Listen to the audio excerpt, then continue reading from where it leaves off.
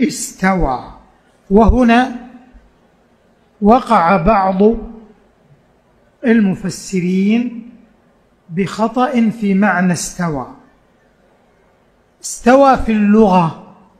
استوى في اللغة. إذا قالت العرب استوى يعني على وارتفع.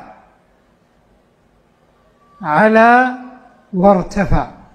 هذا في اللغة العربية. وليس معناه استولى. ومنه قولهم قد استوى بشر على العراق من غير سيف أو دم مهراق يعني استولى.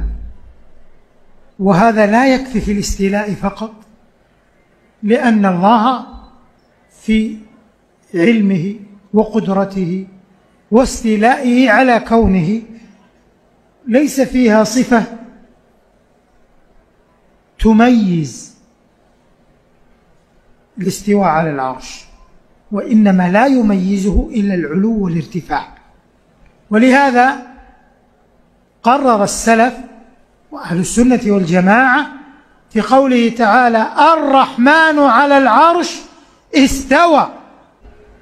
لكنه استوى على العرش أي على وارتفع عليه ومنه إثبات صفة العلو لله تبارك وتعالى. إليه يصعد الكلم الطيب والعمل الصالح يرفع وهذا ملحظ الخطأ في آه، المخالفين لأهل السنة ولمنهج السلف حينما فسروا استوى باستولى. لأنك ما جبت معنى جديد.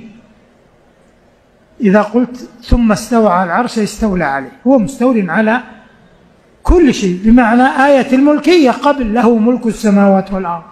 يحيي ويميت وهو على كل شيء قدير ثم قال وهو بكل شيء عليم خلق السماوات والأرض. فهذا كله في جانب الاستيلاء عليها والتصرف والملك فيها.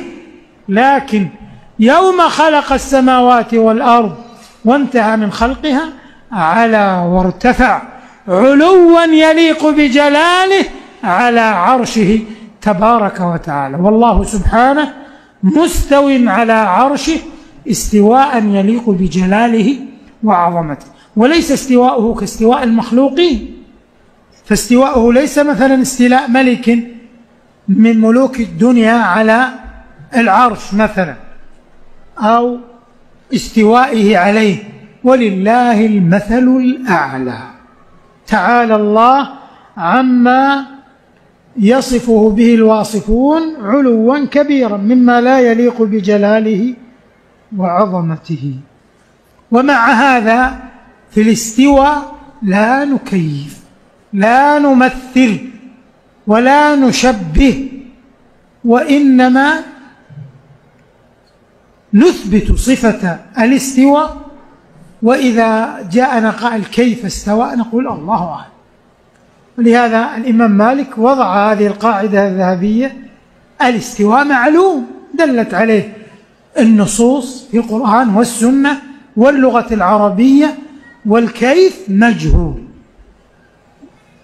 والإيمان به واجب والسؤال عنه بدعة وقال لصاحب السؤال وما أراك إلا صاحب بدعة وأخرجه. لأن بعض الناس يريد من العالم أن يستجره إلى أمور تخالف الشرع أو النقل نقف عند إثبات صفة الاستواء.